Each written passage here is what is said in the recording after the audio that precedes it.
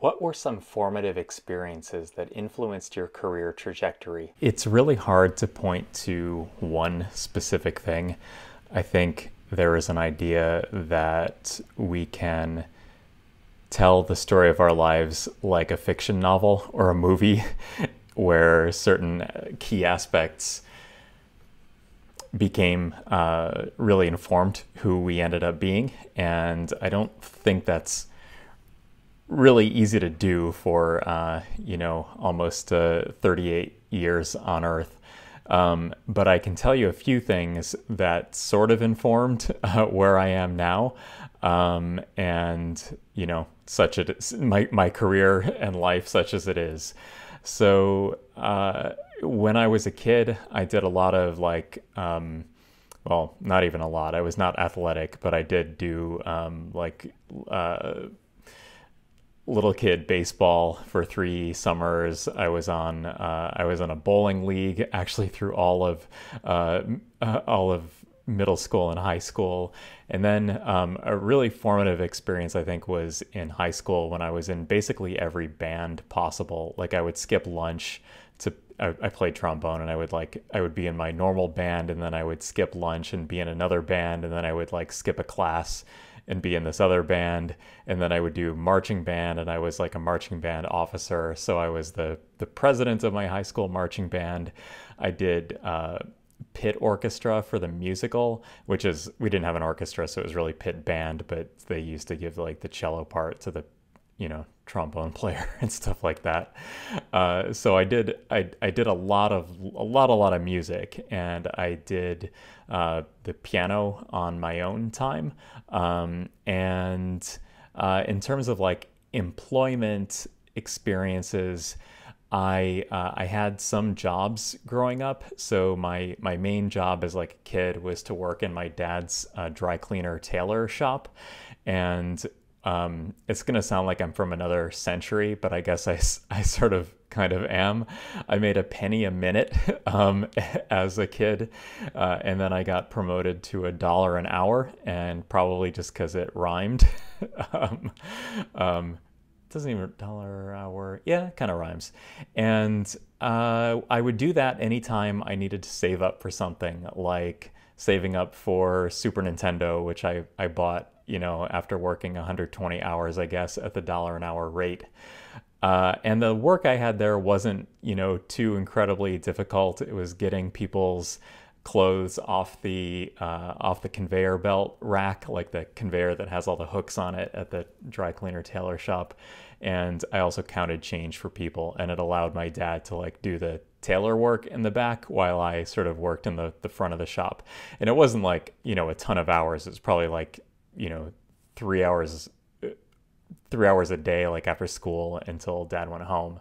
Um, and then like uh, i had some other jobs. I had a paper route at one point. Um, i taught piano and trombone lessons to uh, kids in the neighborhood. Um, i never had any more than like three students at any one time but it was you know enough for like you know, gas money, I guess, once I was old enough to drive. And I was a lot cheaper to those kids' parents than like a professional teacher.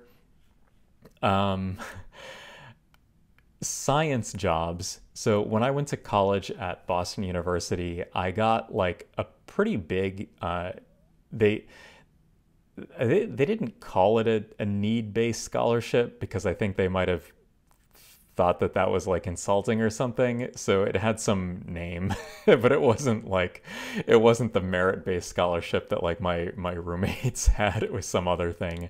Um, so I I didn't I had like you know a good dining plan and some spending money that like my parents sent me for like my freshman year. But then I actually got um, lucky enough to get a, a, paid research position as an undergrad, which was uh, which was really cool. That was through the Beckman Scholars uh, Program, which UCSD has had in the past. I don't think it. I don't think it has it right now, but we definitely have had it before.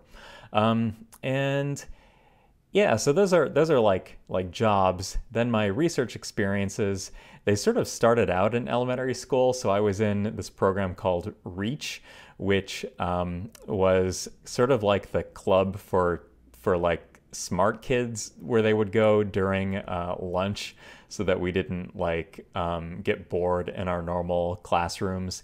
And they had really cool projects. So the, the teacher that ran that program, uh, his name was Mr. Dupre. He died uh, not too, too long ago, um, way too young actually. Uh, and he, he was really an innovative educator, uh, especially for like the kind of school district that I grew up in. It was kind of a town in the middle of like a very rural part of Western New York State.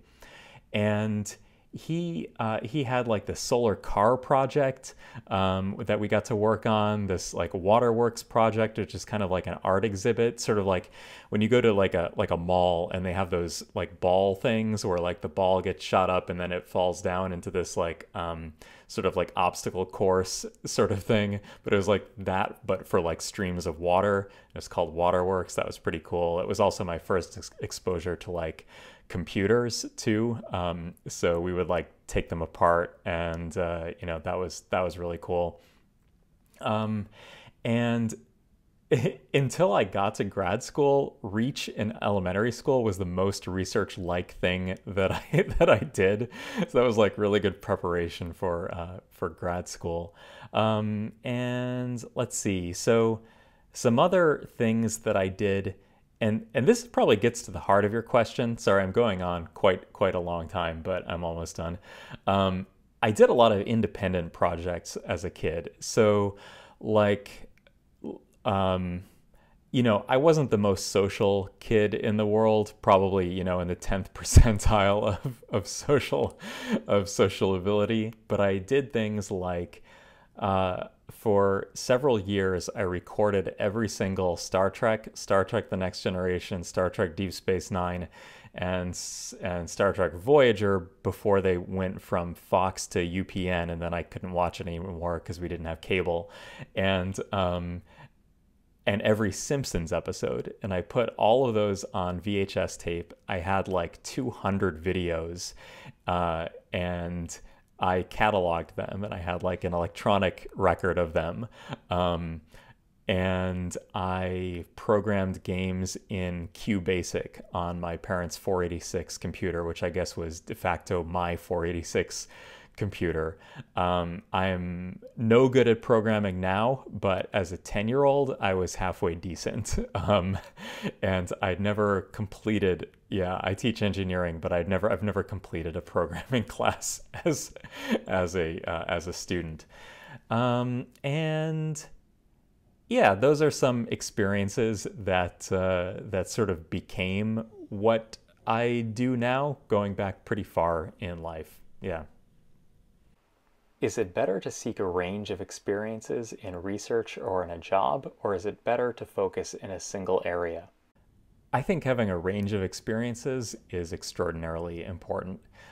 For one, you don't know what you like until you have experience doing it. And number two, these different experiences create these intersectional opportunities in your life where you can you can do things that other people can't do because you have experiences um, as like a tailor's assistant and uh, and as somebody who you know cleaned toilets for a summer after um, orientation students and their parents uh, and also a good amount of scientific research you know before i had to actually decide what it was i was going to do. Um, and that has is it, it pays off like in the research lab if you have a lot of different types of research under your belt you uh, you can combine those and not necessarily like combining because you want it to be souped up. You want to combine it because you want it to be unique. So you can look for the intersection of like human machine interfaces and organic chemistry. And maybe that leads you to some kind of flexible polymer that can interface with biological systems in a way that somebody that does not have training in organic chemistry can, you know, can do. And it's not a question of differentiating yourself in like a competitive manner, like like I want to do this because I want to, you know, beat everyone else at doing it. It's because if you can do it and no one else can do it, it means it's not being done. And it means that there's value to be created at that intersectional area that maybe you can do and other people can't. And how is it related to having jobs like, uh, you know, like custodial work or like um, cashier type work? Well, there are many opportunities uh, in higher education where you can um, be in a position to broaden access to other um, members of the uh, the community that you don't interact with on a day to day basis, and if you can, uh, if you can empathize with different audiences, you can uh, you can teach people about your results and why they're important in a way that somebody who uh, you know had a very privileged existence for their entire you know career and never really left the ivory tower maybe joined a research lab when they were in middle school and worked the entire way through and, and didn't really have these other experiences i think that they would be missing out i think in the uh, in the way in which that they can uh, broaden access to research, appreciation of science, and, uh, and STEM education in general. What are the values that underlie effective leadership in research? As a particular kind of leader that works in academic research and this is probably applicable to any sort of industrial r&d position as well so in, or national lab uh, position research should be fun that's my value.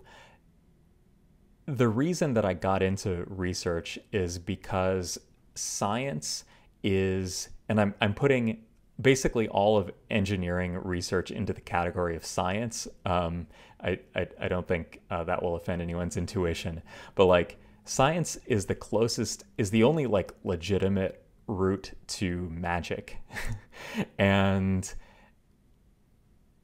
we humanity is on the verge of like curing a pandemic that might have lasted a decade through the use of uh, mRNA and adeno vaccines. And it would have been like unthinkable to do this uh, 10 or 20 years ago. Um, the the fact that we're having this conversation over over the internet and that our voices are clear and that our pictures are clear and that basically the entire knowledge workforce is doing work this way. Uh, most medical visits are done this way. Uh, and that is incredible and couldn't have been done. I mean, it could have been done in a very rudimentary way 10 years ago, but like the entire economy is now like, okay, not the entire economy, but the, the, the knowledge work portion of the economy is running on these platforms. That's that's something that would have appeared to be magic. Um, you know, the private uh, like uh, private companies are now going into space. Uh, we have multiple private companies with uh, ambitions in space exploration, which is which is incredible.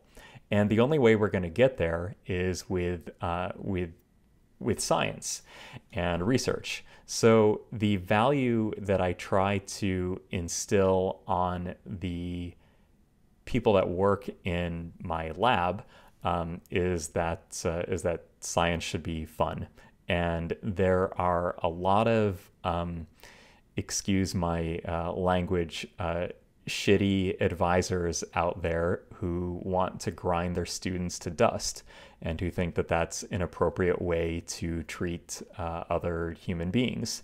And of course, we want uh, we want rigor, but there's also a lot of selfishness um, among some people uh, hopefully a minority of people that have positions similar to mine, um, especially at elite institutions where students languish. They lose all of that interest that they had in science. They lose that that childlike connection to science and magic and learning that I think um, that I think most of us start out going into research in the service of, and that's uh, that's kind of stamped out of of these people. Um, some other values that I think are important as a leader are um, compassion, um, showing curio- uh, curiosity, uh, anything that you can do as a leader to uh, to engage your uh, your thinking prefrontal cortex as opposed to the more primitive sections parts of your brain. Um, like you want to be selfless instead of selfish. You want to be calm instead of angry. Um, you want to be equanimous instead of anxious. And that's easier said than done but it's well worth the effort to try to do these things and to uh, have that as your example. Do you have a mentor or role model? Um, do I have a mentor or role model? Yeah. Um, or and and even even do I? This was uh, this is a this is a hard one. Um, there are people who are professional mentors, and you literally like pay them to be your mentor. And a graduate advisor could be a good uh, a good example, or a postdoc advisor, or an undergrad research advisor would be a good example. And these people, um, you know, you you get paid, but really you're paying them through your effort um, to be uh, to to be your your mentor. And certainly, um, the the mentors that I've had. Uh, that's George Whitesides at Harvard and Zhenan Bao at Stanford have had a huge influence on me and the way that I that I think about science and research. Um, George Whitesides is a uh, he's a super famous uh, chemist, but he is also known as like he's he's an basically an engineer, you know, now hasn't really done chemistry, chemistry in quite a long time, although there's sometimes chemistry in service of some of the projects that go on in that in that group. He has a very um, uh, particular management style. It doesn't work with everybody. A lot of students in that lab uh, languish, um, uh, may, and and uh, maybe when I joined the group, there were 20 grad students and 20 postdocs, and maybe half of the grad students uh, either mastered out or left uh, left science when they when they graduated with their PhD. Uh, but that's because he had a very um, very particular way of doing things. Uh, he was interested in he is he's still alive he's in his 80s um, he's interested in a lot of different areas, but very specific areas within those areas. So, you know, he did like microfluidics and he's one of the the founders of the field of microfluidics and i had this project idea where it was basically I, w- I had just come in as a new grad student and i'm like well maybe we can do like organic synthesis and make molecules in a uh, in a microfluidic chip and he said, um, I couldn't possibly be less interested in that. so uh, one time uh, he wrote on my uh, a paper outline that I handed in that this is uh, that this is illiterate, and there were just some things that he wrote on these outlines that were indescribably like mean stuff that I would never in a million years say to my own students. Uh, but eventually, these things became like the third rail in my mind. So when I'm when I was writing something or preparing a talk, and I'm like, well, at least it has to pass muster with my grad advisor because if it doesn't, then I'm never gonna graduate, and you know I'm gonna also languish or leave science or something. Um, and once I got on his wavelength, things happened very, um, went very smoothly. It helped that I was with, um, and and also like, I kind of felt like I was selling out my interests a lot sooner than I really wanted to. Like, I was really interested in the chemical origins of life, which was a, uh, a research project that he had in the group. But it wasn't really, he wasn't returning like outlines, he wasn't returning work in that area. So I joined this other project on unconventional nanofabrication using specifically a, a microtome, which is like a nanoscale deli slicer that uses a diamond knife to make small cuts in, in stuff to make like these pizza like slabs that can have different, you know, properties depending on where the pepperoni slices are located and uh, and that became you know I became good at that. I never thought I was going to do it, but I became good at it, and I became very interested in um, in the applications that uh, that that technique was good for. So I couldn't have predicted that ahead of time. Um, so he's he's a, a mentor and I've definitely like internalized things that he's told me. Um, and I tell my own students some of those same things. I usually try to attribute it. Um, but it was often a fraught relationship. And a mentor isn't, you know, it tells you something about a mentor. Like they're not somebody who is just going to tell you what you want to hear over and over and over again. And you might even get out of their, like, you know, graduate from or escape their tutelage and decide that you want to do something totally different in some approach of yours. But you wouldn't know that unless you had this mentor. So it can be a complicated relationship.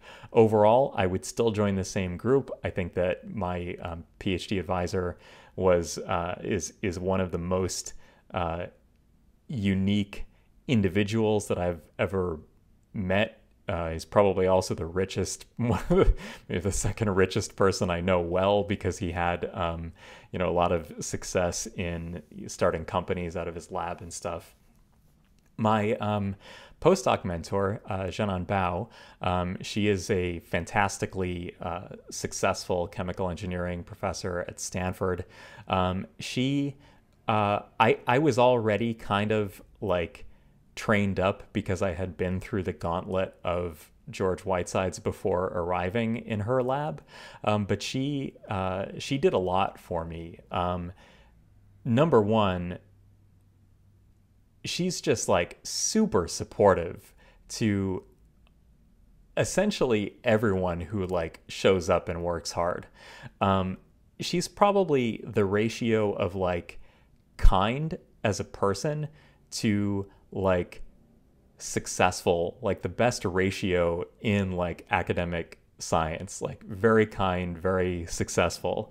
And uh, and it's just it's just amazing her like breadth of knowledge and uh, and curiosity and support, but she was also capable, is also capable of telling you things that you didn't you know you didn't want to hear at the time but you're very glad that you did hear them. And this goes back to like mentorship.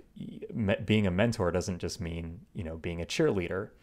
So one time i gave a talk to the uh, stanford global climate and energy project. They had like an annual conference in one of the big lecture halls.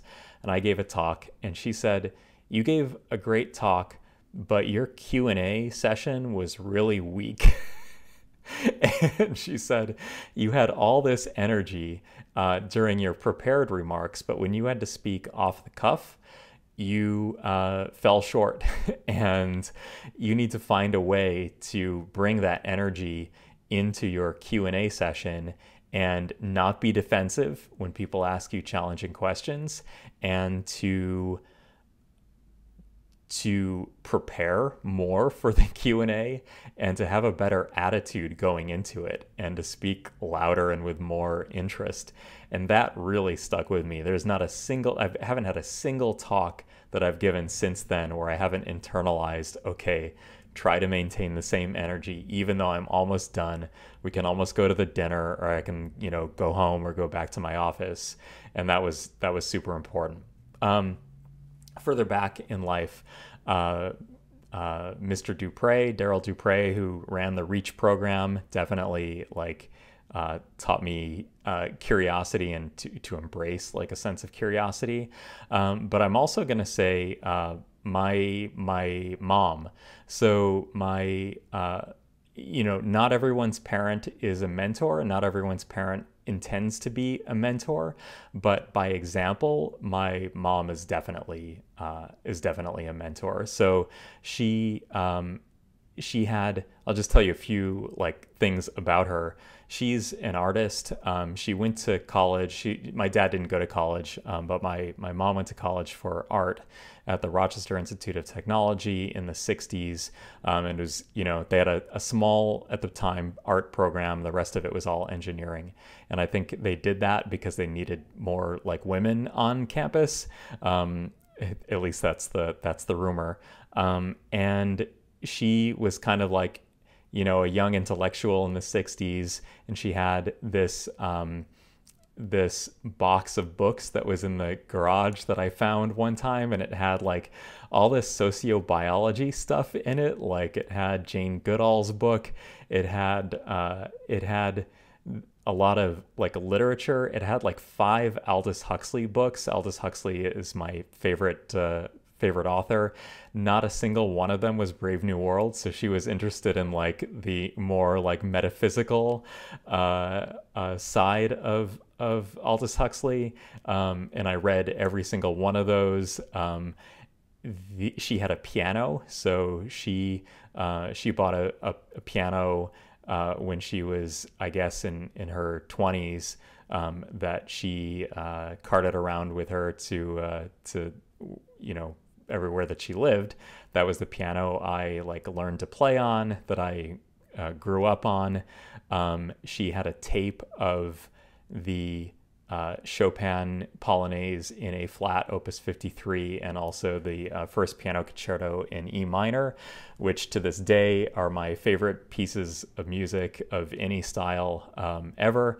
And uh, and and it's not just because they have a I have a close relationship with them, I really do think like there are qualities about those works that are like superior to uh, to to most other uh, most other music that I listen to, and nothing really affects me in the same way. And not not just I think I think I think she was onto something with those being like her favorite pieces as well.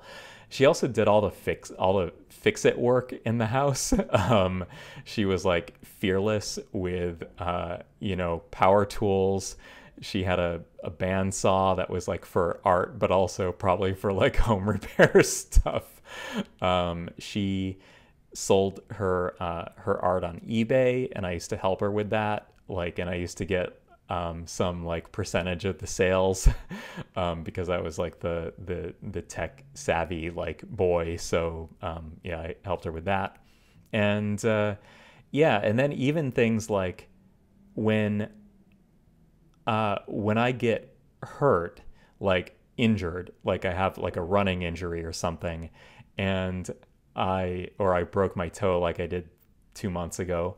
Um, I think back to the time when uh, it's like in 2004. My dad just had prostate cancer surgery and was uh, incapacitated, and then mom was at the the uh, the post office and uh, and broke her kneecap in three pieces on the uh, on the pavement because she tripped, and drove home on with with a broken kneecap, and I'm just like, there was a scene in uh, the movie Troy, which did not age well. But anyway, this movie Troy, where Brendan Gleeson's character, who is uh, he played Menelaus, um, gets hit in uh, in the face with with a um, uh, Paris's sword, played by Orlando Bloom, and this is like a lucky hit. Like Paris is supposed to lose this fight, and Menelaus spits out his teeth and then keeps on fighting. And that's how I picture my mom getting through that uh, that moment. And there have been uh, aspects of like, uh, you know, times of injury or defeat when I just picture that that uh, when I get I derive strength from the fact that my you know that my mom was able to get through this. Um, and even now like keeping uh, uh, taking care of my dad who's uh, who's 90 and she just retired basically in the middle of COVID because she didn't want to go back to work and you know expose uh, her herself and her family to the to the uh, coronavirus. Um, but she was like doing that full time job plus all of these art and literature classes that she was teaching in the library, plus her regular job at the library, plus taking care of dad, which is a full time thing, and um, uh, and so yeah, she's she's a, a mentor, even if she even if you know she's also my mom. Oh yeah, one last thing. She went back to grad school at the age of 68. and not many people are going to do that. So, yeah. What advice would you give to a college undergraduate about to enter the job market, especially during COVID? Okay, given given the COVID pandemic, what I guess what it so I'll give you the general advice and maybe this is something that I don't know advice. I'll I'll say some things and you can take it as advice if you want. Um, and how might that change due to COVID? in general, okay, so the classic commencement speaker thing is to say, follow your passion, right? Everybody's heard that, follow your passion. Lately, there has been a, uh, a backlash against the P word, where the self help gurus these days say passion is bunk. Get really good at something, and then that becomes, then you become passionate about that and then that becomes your passion. Um, and then uh, I heard this fantastic interview with Mike Rowe, who is on the Discovery Channel. Uh, he's the host of Dirty Jobs. Yeah, and has a, has actually some executive functions on the Discovery Channel too. But he he said something great, which was um, uh, which was follow your opportunity and take your passion wherever you go that's very that's very useful. Uh, what I would say in general is that passion is getting dumped on a lot, and probably probably unwarrantedly so. And here's here's why.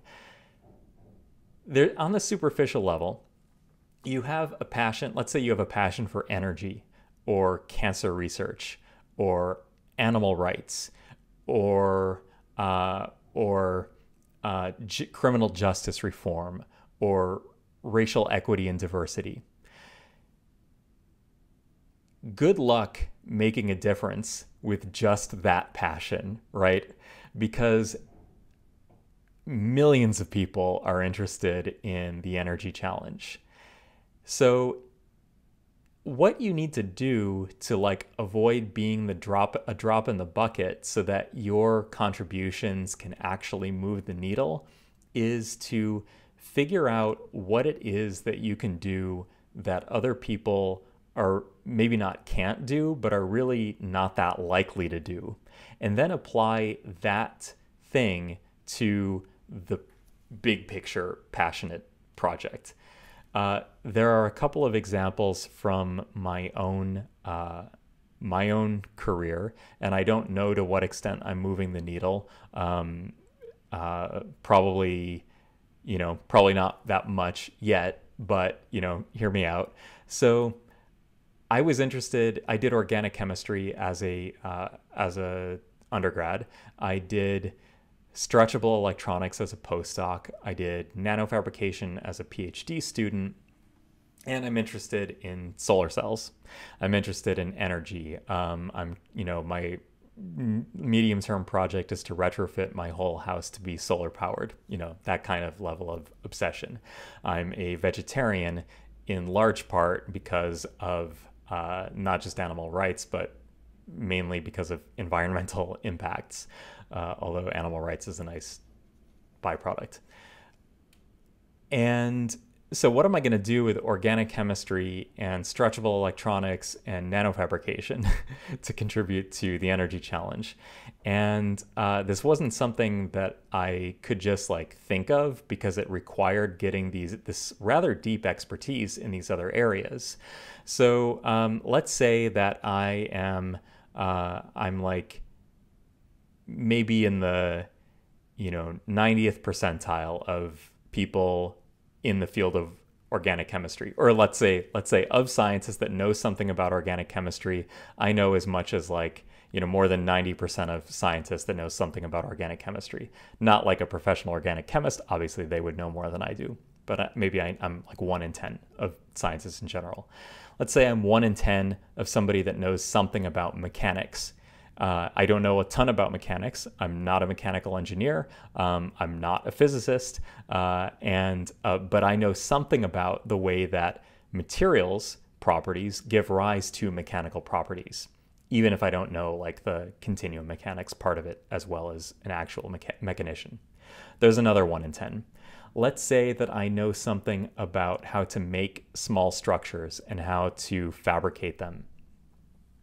So like nanofabrication engineering. Maybe that's another one in 10. And maybe I'm even a little bit better there. Maybe I'll give myself one in a 100. So now I have 1 in 10 squared times 1 in a 100. So now I have 1 in 10,000, and I am the 1 in 10,000th person that can make an impact using these particular skills, these particular interests.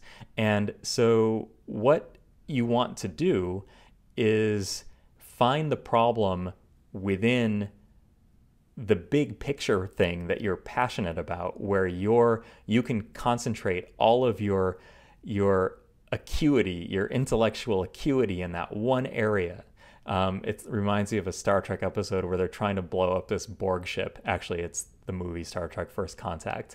And Picard says, concentrate all firepower on these coordinates. And so all the ships fire where the Borg cube is the weakest and it blows up. Now, I'm not just saying I want to make the best solar cell ever. What I'm saying is we can develop polymers for barrier barrier materials for hole transport layers that interact with uh, with perovskite or organic semiconductors. We can uh, we can come up with mechanically resilient uh, adhesives that are conductive for uh, for silicon solar modules. We can come up with a better uh, a better support rack for solar panels on the rooftop or in uh, in uh, in grid scale that might have a better strength to weight ratio using a composite material than a typical material, and that might reduce the balance of system costs. And if you can tweak any one of those knobs a little bit, you might actually move the needle on the whole exercise, which is solar energy production. Um, so that's an example where you can't really predict what your uh, what your interests are going to be. You sort of have to you have to you have to follow your opportunities, and then when you have opportunities, uh, you uh, become an expert in those little areas. And after time and experience and talking to people and reading books and watching videos and listening to podcasts, you start to be able to put together a picture of where your stuff can actually make a difference applied to your big passion project rather than just, I'm going to make a better solar cell. It's not really going to cut it because a million, five, ten million people want to make a better solar cell. Did I answer the question? Oh, yeah. The second part. How would my advice? Uh, so, so, what advice would I give somebody uh, like you who's starting out um, after spending a lot of time on uh, Zoom taking classes? The good thing is that everyone else that you're competing with is in the same boat. Um, I really hope that that uh, that students in the Zoom generation, so those that um, basically those of you who are seniors, senior undergrads this year uh, will um, will junior and senior undergrads this year will take to heart is the fact that you really do have to try to maintain these relationships even though you're going to be doing them virtually. In some senses, it's easier because you don't have to get out of bed. Like you do you have to get out of bed. You don't have to leave your house.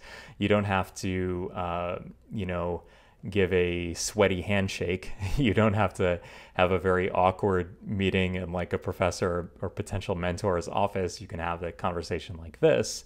Um, and there's a lot of opportunity. Like I spoke to people that were my like heroes. Like I spoke to the economist Tyler Cowen um, on my podcast, and that was th- the thrill of a you know of a lifetime to chat with him about things.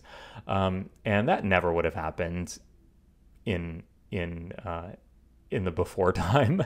so if you can take advantage of some of these opportunities that lend themselves through the fact that we're at home on the internet. Also, you could take all of that um, time that you're not commuting and try to do something else with it or do coursework better. Like, uh, you know, maybe nudge that GPA up um, while, you know, while there's still time. Maybe um, do another extracurricular, uh, read in some area that uh, that interests you. Um, those are uh, those are really good ways to uh, to spend your time and can help you like treat COVID not as a drag on your development, but as an opportunity to do some things that you wouldn't have normally.